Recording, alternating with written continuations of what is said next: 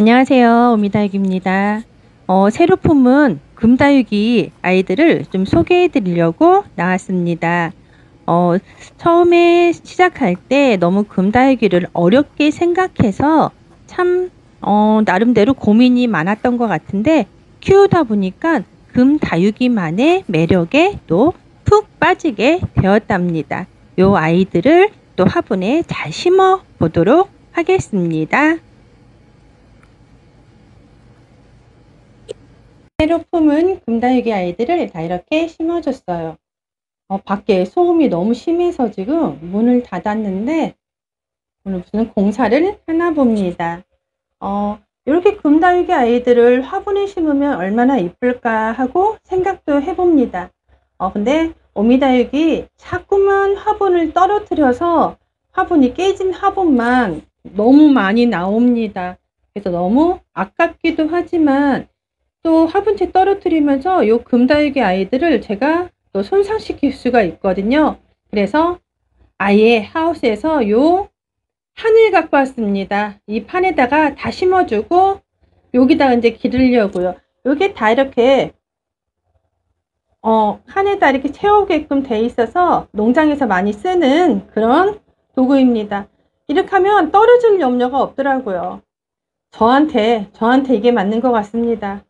딱 나중에 고정을 시켜서 움직일 수 없게 됐을 때, 어, 이렇게 화분을 이용해서 심어주도록 하, 려고 합니다. 어, 오늘 또 새로 품은 아이들 소개시켜 드릴게요. 먼저, 요 아이는 아이스 아이, 아이스 에이지, 아이스 에이지 백금입니다. 어, 아가, 아가 금다육이에요.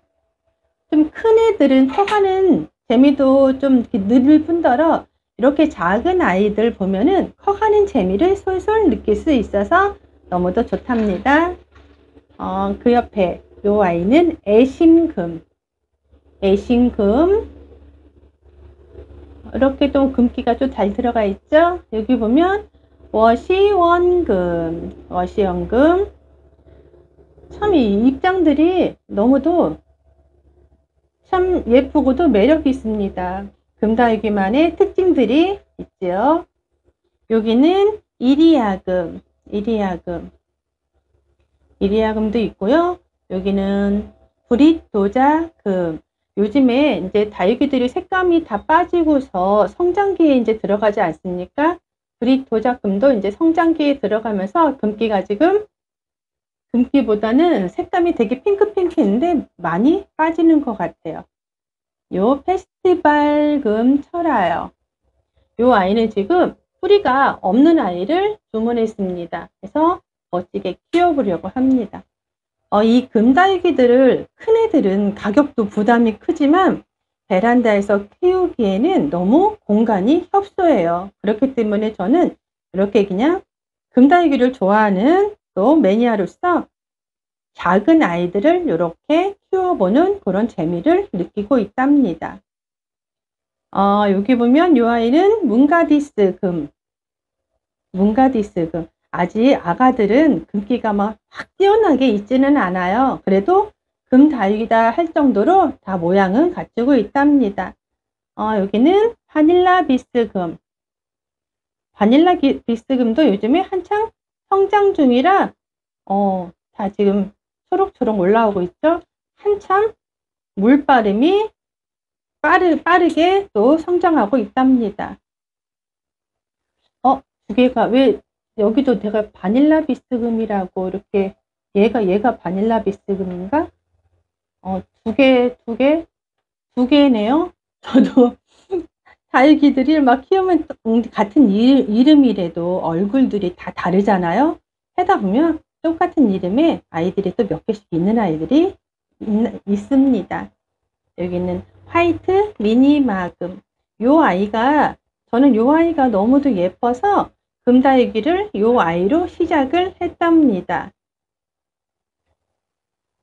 요 옆에는 홍미인금 여기는 소인재금 많이 익숙한 이름들이 많이 있죠. 여기는 치살송 금입니다. 치살송 금은 어, 여기를 하도 제가 이게 늘어지는 거를 별로 안 좋아해요. 그래서 적심을 했습니다. 적심을 해서 요 옆에 이렇게 심어놨습니다. 시설송금도 되게 매력적인 그런 금다육입니다. 여기는 한엽 송록금. 한엽, 한엽 송록을 좋아하는 제가 이제 또 한엽 송록금까지 또 손을 뻗치게 되었답니다. 여기는 방울복랑금. 한참 이게 다 여름에 과습 때문에 다 물렀던 아이인데 또 이렇게 새 입장이 지금 올라오고 있답니다. 여기는 라온 마리아 금. 여기 라온 마리아 금입니다. 완전 아가를 또 데려왔답니다. 여기는 고혼 진금. 어, 제가 화면이 많이 떨리죠? 지금 베란다 수납장 맨 꼭대기에 올라와서 지금 제 몸을 지지하고 있답니다. 위로 올라와 있으니까 살짝 겁이 좀 나서 좀 많이 제가 긴장을 했던 것 같습니다. 여기는 고운진 금이에요. 고운진 금. 이 금들이 이렇게 햇빛만 세게 받아도 금방 화상을 입는답니다. 그렇기 때문에 최대한 또 너무 직사광선, 직사광선을 피해 주려고 합니다. 그렇다고 너무 햇빛을 안 받으면 이 금다육이도 심하게 웃자랍니다. 그리고 너무 직사광선은 금기가 많이 빠지죠.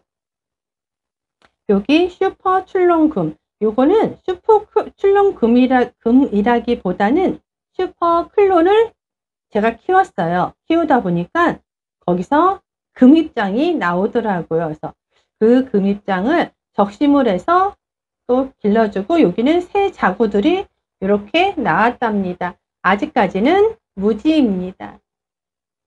여기는 마리아금 설화가 되겠고요. 여기는 링컬 마리아금. 요 링컬 마리아금이 굉장히 작았거든요.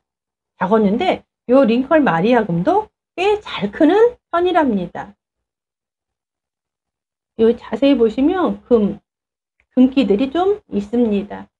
어, 여기 보시면 천대전성금, 또 자오기금도 있답니다.